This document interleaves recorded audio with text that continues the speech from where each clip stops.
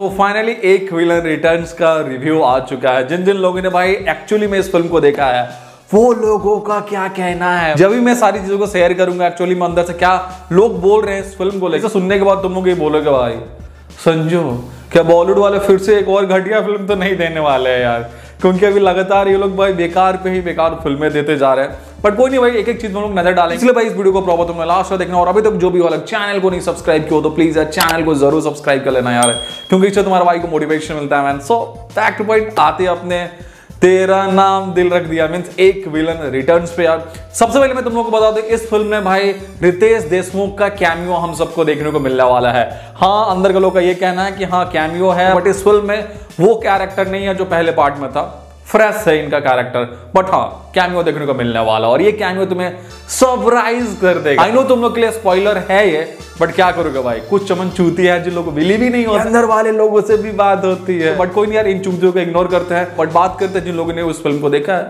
वो लोगों को क्या कहना है इस फ़िल्म को लेकर सबसे पहले वो लोग आते हैं जो लोग भाई इस फ़िल्म का ना भर भर के तारीफें कर रहे हैं। मतलब वो लोग भाई हर एक चीज़ की तारीफ़ कर रहे हैं। सबसे पहले वो लोग बोल इस फ़िल्म को जिस तरीका से अपने मोहित सोरी ने प्रेजेंट किया है प्रेजेंटिंग स्टाइल काफ़ी अच्छा है मीन्स डायरेक्शन काफ़ी अच्छा है इस फ़िल्म का। और साथ साथ गाने तो अच्छे ही गाने तो हम सबको पता ही है।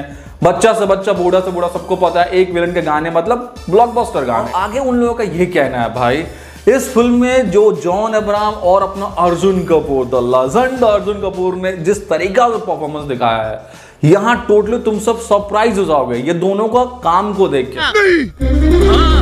ये चीज़ें देखने के लिए मैं उतावला हूँ। गॉड प्रॉमिस बोल रहा हूँ। मैं चाहता हूँ कि अर्जुन कपूर एक्टिंग करे।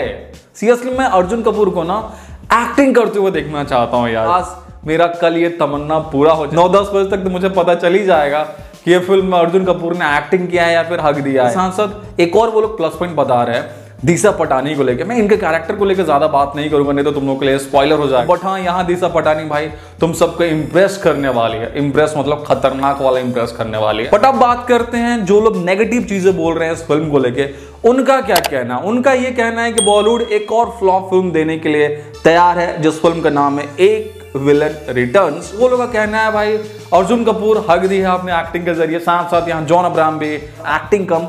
ओवर एक्टिंग ज़्यादा करते हुए दिखाई दे रहे एक और चीज़ उन लोग का ये कहना है सेकेंड हाफ़ को लेके सेकेंड हाफ़ बहुत ही मतलब समझ रहे हो ना मतलब घिचपिचा दिया ये लोग कि डायरेक्टर मतलब कंफ्यूज हो गए हैं कि एक्चुअली वो क्या दिखाना चाहते हैं। बट अगर मैं अपनी बात करूँ भाई, मैं इस फ़िल्म के लिए ना एक्साइटेड एकदम नहीं हूँ। मुझे पता नहीं क्यों डर लग रहा है अंदर से यार। मुझे लग रहा है कि भाई कहीं पैसा बर्बाद ना चला बट फिर भी मैं दिल पे हाथ रख के जा रहा हूँ। सिर्फ़ दिशा पठानी और अपनी तारा सुतारिया के लिए। बेसिकली तारा सुतारिया मुझे काफ़ी ज़्यादा अच्छी लगती है। तो भाई इतना तो तारा सुतारिया, पैसा एकदम मतलब कुर्बान है यार। मतलब दो ढाई सौ रुपया तो भाई दे ही सकता हूँ इनके नाम पर बस वो एक्टिंग करते हुए दिखाई दे यार। और जॉन अब्राहम और अपने अर्जुन कपूर की बात करें थे लोग एक्टिंग पर ना मुझे कल बिलीव था, ना मुझे आज बिलीव है। और आई थिंक आने वाला पचास साल बाद ही मुझे बिलीव नहीं होगा।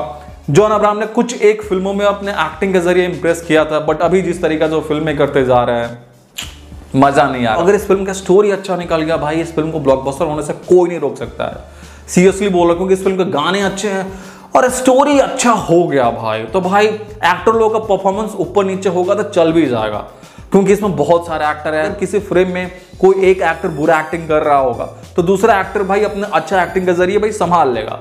बट इंपॉर्टेंट है स्टोरी और डायरेक्टर का प्रेजेंटेशन सो so, देखते हैं भाई कल क्या होता है और ये वीडियो तुम्हें जरा भी पसंद आया यार। प्लीज़ एक लाइक कर देना शेयर कर देना और अभी तक चैनल को नहीं सब्सक्राइब किया हो तो प्लीज़ यार चैनल को ज़रूर सब्सक्राइब कर लेना। और मेरे से बात करना चाहते हो आ जाओ यार इंस्टाग्राम का फेसबुक का ट्विटर का सब चीज़ का लिंक भाई तुम्हारा डिस्क्रिप्शन में दिया है। वहीं यहाँ वहीं मैसेज करो यार। वहीं बातें करते हैं मस्ती करते हैं। सो चलो फिर मिलते हैं अगले वीडियो में। टेक केयर बाबा